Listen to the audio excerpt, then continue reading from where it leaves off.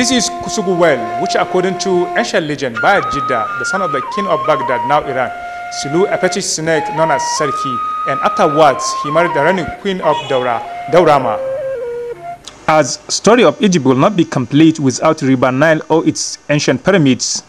Indeed, the story of Daura in Nigeria at large will not be complete without the legendary Kusugu well.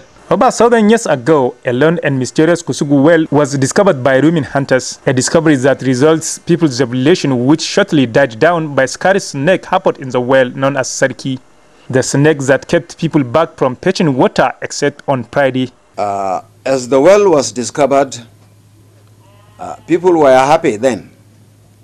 But unfortunately, at a certain time uh, along the way, uh, a menacing snake known as Sarki uh, occupied the well to the extent that it prevented the inhabitants from getting water on daily basis.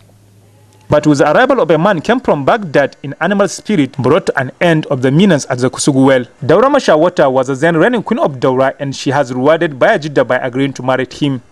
After which they gave birth to Bawo. Bawo also begot six children which put together with Bayajidda earlier wife's son Brom went out and found the seven Hausa kingdoms popularly known as Hausa Bakwai.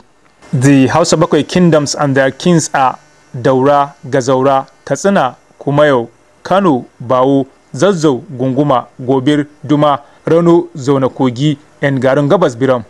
Kusugu well curator Salisu Mohammed shares that apart from nightmares experienced by the people living around it, the well has never dried and its water color and taste changes three times in a year. Moreover, many of the believe that Kusugu well water has healing powers. For ages, Kusugu well serves as one among the most popular tourism centers in Nigeria, such as Slave Route in Lagos and Benin Kingdom Palace, where the well receives different caliber of tourists from within and outside the country. Other monuments and artifacts that play a significant role in the history of Daura and Hausa land are Soran Bawan Dodo, which is the post palace in Daura Emirates that has watchtower. Kofar Gabas is the gate where Bayajidda came into Daura. As the saying goes, the legacy of the heroes is the memory of a great name.